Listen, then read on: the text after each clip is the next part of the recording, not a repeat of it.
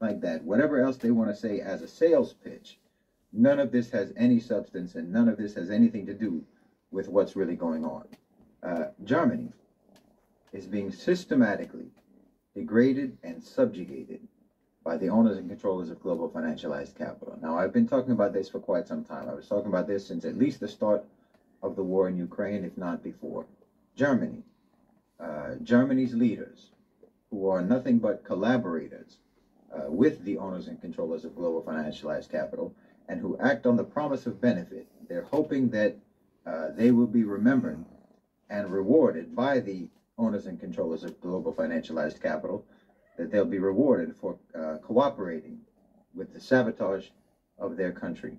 Now, these leaders have placed their country, have placed Germany, placed their economy uh, into a trap that tightens the more you struggle until it finally chokes you to death. None of the reasons that these leaders have presented to their public uh, as justification for why uh, they're doing this to Germany, none of these reasons have any substance. Whether it's uh, because they say it's necessary, uh, a necessary sacrifice to weaken Russia, or uh, a necessary sacrifice for the sake of the environment and to you know, combat climate change or anything like that, whatever else they want to say as a sales pitch, none of this has any substance and none of this has anything to do with what's really going on and with why this is happening. They say that they want to stop their dependence on Russia uh, for energy, but they've closed all of their nuclear power plants and they've just shifted their energy dependence to more expensive sources like the US. They say that they want to uh, avoid or to eliminate carbon emissions and to promote green energy. But they are importing uh, the dirtiest form of energy that there is, coal, to compensate for the shortages that they themselves are causing for themselves.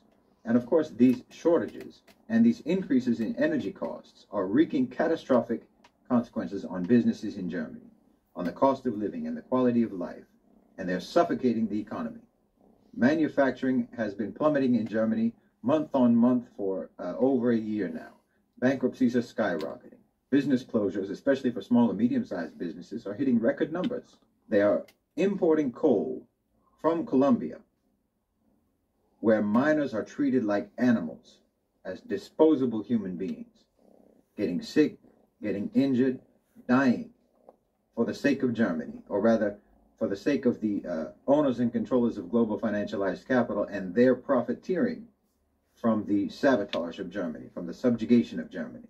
All this talk about the environment, all this talk about climate change, that's particularly hyperbolic in Germany, that only exists uh, for the purposes of justifying this program of destabilization, this program of deindustrialization, this program of subjugation. Once that program has been uh, implemented and enforced to a sufficient degree, you won't need those justifications anymore and they'll go away and they'll come up with something else. They want to degrade Germany. They want to deindustrialize Germany. They want to humiliate Germany. And they're trying to see just how much the German people are willing to bear it. In my opinion, uh, the ideal optimal outcome uh, of this experiment in humiliation for the uh, owners and controllers of global financialized capital would be for the far right uh, to come to power in Germany and for Germany to exit the EU and to uh, resume their ties with Russia. Then they'll be able to treat Germany as an open enemy with uh, aggressive hostility. So just watch. You're going to see more of that. The media is helping to direct the whole trajectory of this project. And this private sector power structure uh, is not loyal to any nation.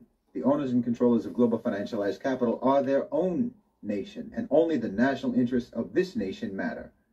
It's a floating empire, unfixed to any geographic borders, and they view everyone as disposable serfs and slaves, whether they live in the global north or in the global south. And they will happily cannibalize their own populations without the slightest hesitation, and that's what they're doing.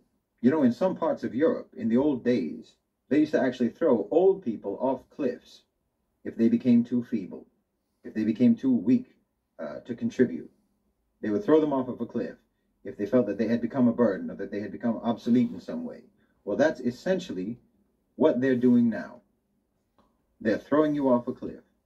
Workers, small businesses, the lower class, the middle class, they're throwing you off a cliff because you have no function for them anymore. I'm telling you, there's cultural and civilizational continuity in what's happening. There's continuity in this brutal disregard uh, for what are deemed by them to be uh, superfluous populations.